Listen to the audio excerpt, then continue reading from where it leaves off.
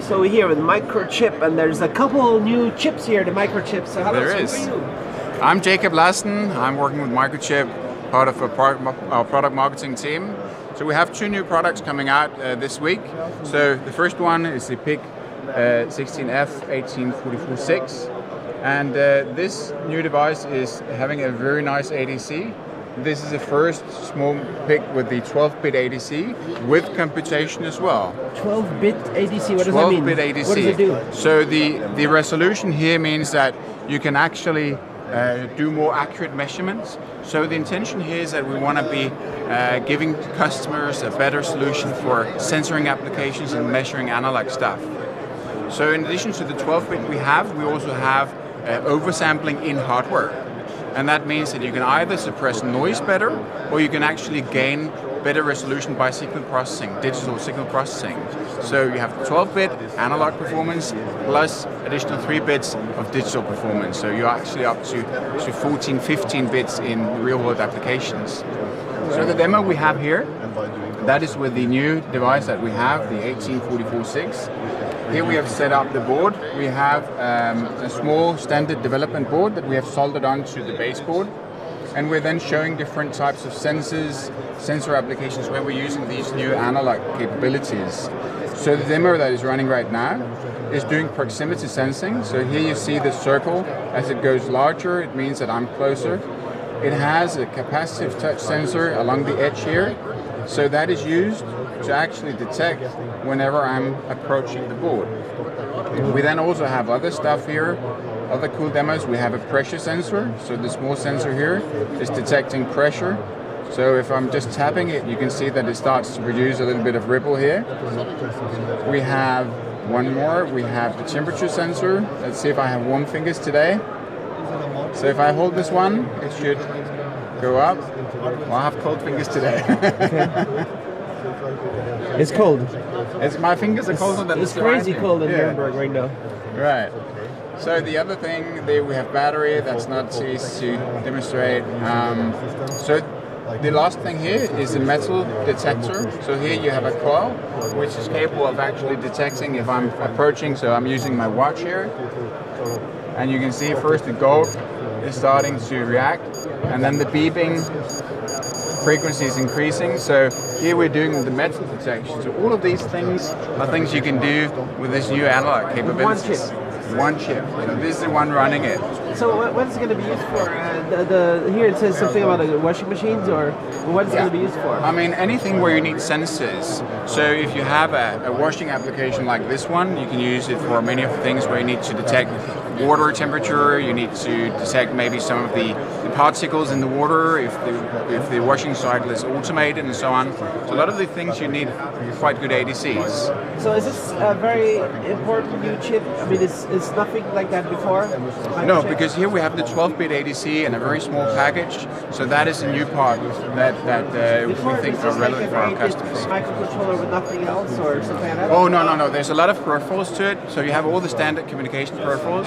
You have a lot of very cool timers that you can use either for detecting, like I showed you with the fidget spinner, where we have a rotational detection timer. Yeah, I can do that. So here we So, have This a is cool the microchip fidget spinner. So This is the coolest fidget spinner in the world. That's the coolest fidget spinner in the world. So what it does is it's actually using one of our special timers to do a rotational speed detection and is synchronizing with a small sensor we have uh, on the board here. So if I turn it on, what I can do is that I can spin it and it would show the microchip text here. Nice. Do that.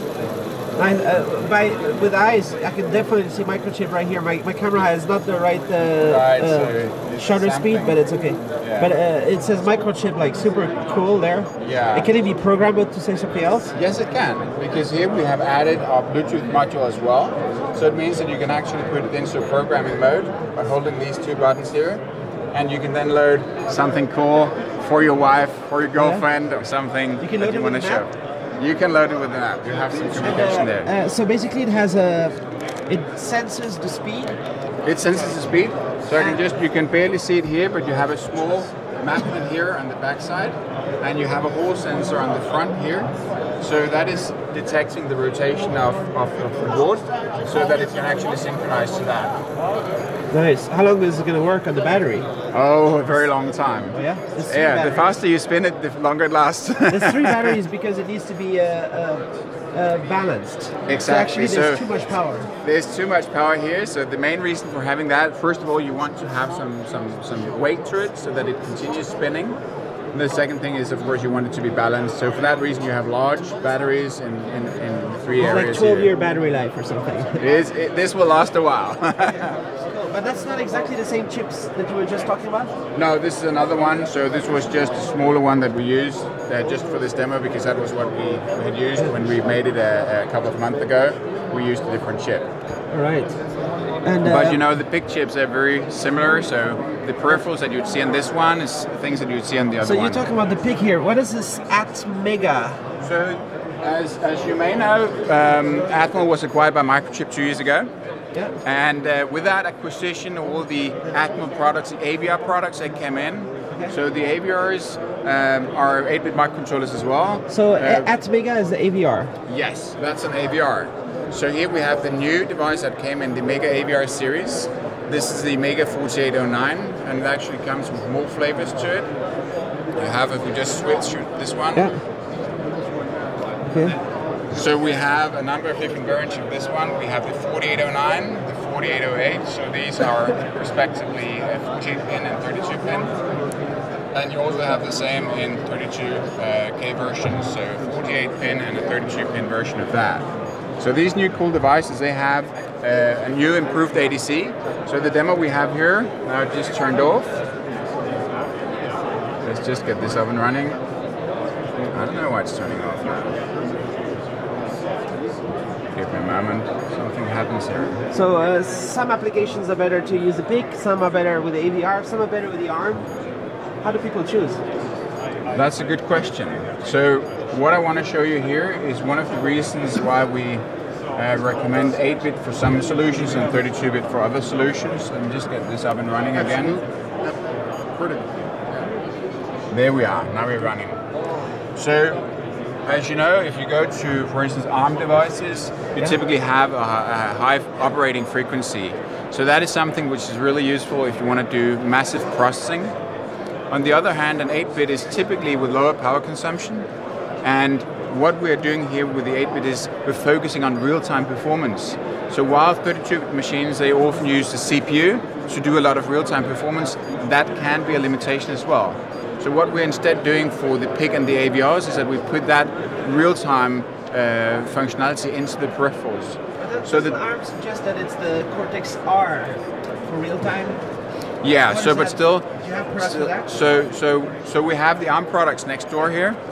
Um, so what we, we say that you can do a very good call, but if you do not have excellent peripherals, you can actually not meet your real-time requirements. So the demo here is focusing on the analog performance. So here we have the Mega 4809 on an Xplained Pro board. This is a standard development board that you can get uh, right now. In addition, we have made a signal generator, and the signal generator is currently generating this signal up here. So this is a raw signal on top, and on the bottom you have the measured signal. So that is transmitted from the board up to this tablet uh, PC. So what we can show is that, all right, you have, this is an ideal situation, this is what you would see in the lab, but in reality you typically have noise. So let's turn on random noise. So what you see here, let's just get this back to where I wanted it to be. Here you see the standard operation of an ADC. The noise that is on the signal is actually measured as well. But the ADC here, it has some fantastic hardware capabilities. It can do hardware averaging, meaning that you can actually do filtering in the ADC itself. You don't have to spend CPU cycles to do that. So if we start turning on this, so we're starting to add the oversampling, you can see that the noise, the random noise, is attenuated. And if we go to the maximum oversampling, you can see from that source, we can measure that signal by doing that in, in hardware.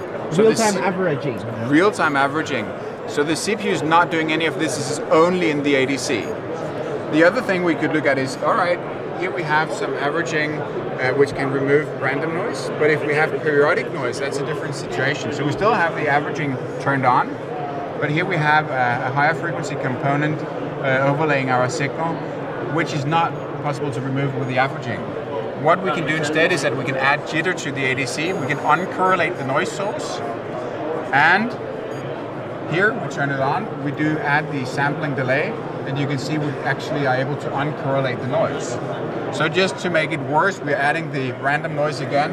You can see the, this is representing a sine wave and a lot of noise. And this is what we can actually measure with the ADC without spending a single CPU cycle. And the ADC is, uh, I mean, what are the use cases for this? Where, where, does it go? So again, what, what we're focusing on is sensoring applications. And typically what we see here is that uh, we need it for industrial applications and where you have harsh environments, a lot of noise. There, these fantastic features would be fitting well in because you can you can say you can have noise from a 50 hertz, you can have noise from a lot of different things, so but like we are able to radios. remove that. It, it could be, well, we wouldn't use this specifically for radio, but it would be for industrial applications where you want to have good analog measurements, even though that you're in a in an electrical noisy environment. So this processing that you would normally have to do in software, this would require a, a quite powerful CPU to do the same processing this is something we can do without spending a CPU cycle. So that is coming back to your question about, well, when do we recommend ARM? When do we recommend 8-bit uh, products? So if you have uh, an application where you need to do good noise suppression and still want to have low power consumption, this is typically an 8-bit application where you want to use these kind of features. So uh, these two new chips that you just uh, presented, they're they're gonna enable new uh, new products in the in society, right? They are. They are. For like this, this is gonna mean what? New machines, new. So what IoT, we see, new, new... many of the things that we see today is that a lot of of, of uh, systems are being connected. We're talking IoT, connected devices, and in all of these situations, typically what you do is that you're measuring uh, environmentally uh, environmental uh, parameters. It can be temperature, air pollution, a lot of things and you're collecting data about that and transferring that to a centralized system. So this is part of a larger connectivity story where you actually need good analog performance to do connectivity and share that information in IoT applications.